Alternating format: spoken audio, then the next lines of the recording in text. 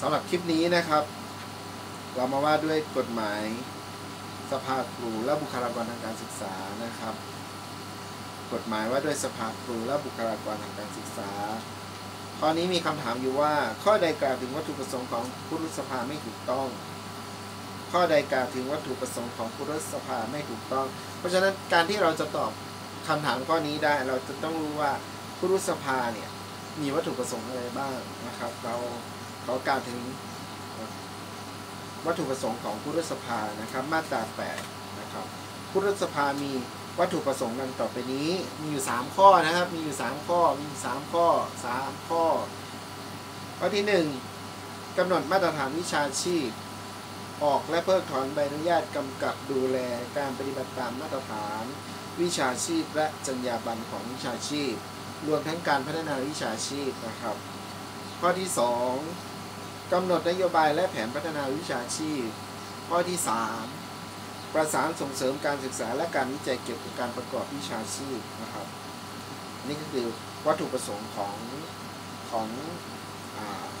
ผู้รู้สภานะครับ แต่โจทย์มักจะถามว่าข้อใดไม่ถูกต้องนะครับ เขาจะมักจะเอาข้อข้อคำตอบระหว่างวัตถุประสงค์ของผู้รู้สภากับวัตถุประสงค์ของอะไรนะใบประกอบวิชาชีพนะครับมา มารวมในการออกช้อยให้เราตอบนะครับสำหรับข้อต่อไปนะครับ ในกรณีที่สำนักงานการตรวจเงินแผ่นดิน ในกรณีที่สำนักงานการตรวจเงินแผ่นดิน ตรวจสอบการปฏิบัติงานด้านการเงินการบัญชีของผู้สภาแล้วให้ดำเนินการรายงานให้ผู้ใดทราบ ในกรณีที่สำนักงานการตรวจการตรวจนะครับ การตรวจเงินแผ่นดิน ตรวจสอบการปฏิบัติงานด้านการเงินการบัญชีของผู้สภาแล้วให้ดำเนินการตามรายงานให้ผู้ใดทราบนะครับ ในส่วนคำถามข้อนี้เราจะต้องรายงานต่อรัฐสภานะครับ ต่อไปนะครับ ใครมีหน้าที่พิจารณาพักใช้ใบประกอบวิชาชีพครูครับใครมีหน้าที่พิจารณาพักใช้ใบประกอบวิชาชีพครูคำตอบก็คือ คณะกรรมการมาตรฐานวิชาชีพนะครับ คณะกรรมการมาตรฐานวิชาชีพ ข้อคำถามต่อไปนะครับ ข้อใดเป็นวิชาชีพทางการศึกษา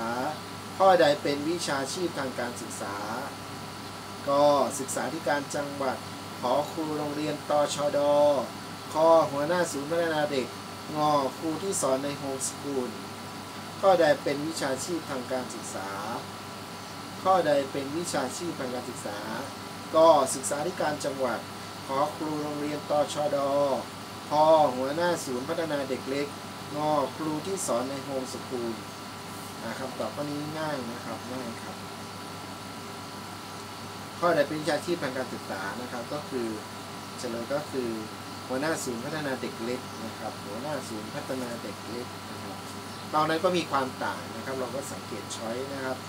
ข้อต่อไปนะครับ ข้อใดกล่าวถึงอำนาจหน้าที่ของคณะกรรมการผู้รุษภาไม่ถูกต้อง ข้อใดกล่าวถึงอำนาจหน้าที่ของกรรมการผู้รุษภาไม่ถูกต้องก็บริหารและดำเนินการตามวัตถุประสงค์และอำนาจหน้าที่ของผู้รุษภา ขอพิจารณา วินิจฉัยอุทธรณ์คำสั่งของคณะกรรมการมาตรฐานวิชาชีพคอการกำกับดูแลตามการปฏิบัติตามมาตรฐานและจรรยาบรรณของผู้ประกอบวิชาชีพทางการศึกษางอการกำหนดนโยบายการบริหารของผู้รัฐสภา ข้อใดกล่าวถึงอำนาจหน้าที่ของคณะกรรมการผู้รสภาไม่ถูกต้อง ไม่ถูกต้องเราก็ต้องรู้สิว่าอำนาจของผู้รสภามีอะไรบ้างนะครับเพราะฉะนั้นเราต้องไปท่องท่องจำให้ได้นะครับท่องจำให้ได้ว่าอำนาจนั้นมีอะไรบ้าง ส่วนที่ไม่ใช่ก็คือการกำกับดูแลการปฏิบัติตามมาตรฐานและจรรยาบรรณของผู้ประกอบวิชาชีพทางการศึกษานะครับ อันนี้เป็นอำนาจที่ของกรรมการผู้รสภานะครับ ที่ไม่ใช่ อันนี้น่าจะเป็นกรรมการของผู้ประกอบวิชาชีพนะครับ ข้อต่อไปนะครับ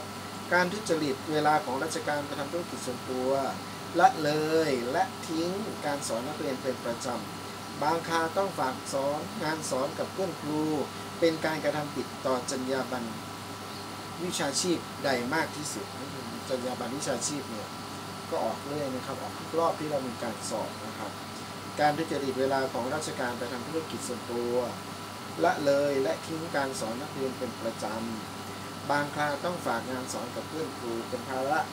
เป็นการกระทำผิดจรรยาบรรณวิชาชีพตั้งแต่มากที่สุดนะครับซึ่งจรรยาบรรณวิชาชีพก็จะมักท่องง่าย ๆนะครับ ชีพตนรับร่วมคม ชีพตนรับร่วมคม แต่ก่อนเราสอนเราก็ชอบท่องว่าชีพตนรับร่วมคมนะครับจรรยาบรรณมีห้าข้อนะครับ สำหรับโจทย์ข้อนี้อีกครั้งนึงนะครับ การทุจริตเวลาของราชการไปทำธุรกิจส่วนตัว ละเลยและทิ้งการสอนนักเรียนเป็นประจำ บางคราต้องฝากการสอนกับเพื่อนครู เป็นการกระทำผิดจนต่อจรรยาบรรณวิชาชีพได้มากที่สุดนะครับข้อคำตอบก็คือจรรยาบรรณต่อวิชาชีพนะครับนี่เป็นหน้าที่ของตนแต่ก็ยังละทิ้งทอดทิ้งนะครับ ก็ถือว่าผิดจรรยาบรรณนะครับสำหรับคลิปนี้เอาไว้เพียงเท่านี้นะครับอย่าลืมกด ไลค์กดแชร์ แล้วก็กดติดตามด้วยนะครับขอบคุณครับ สวัสดีครับ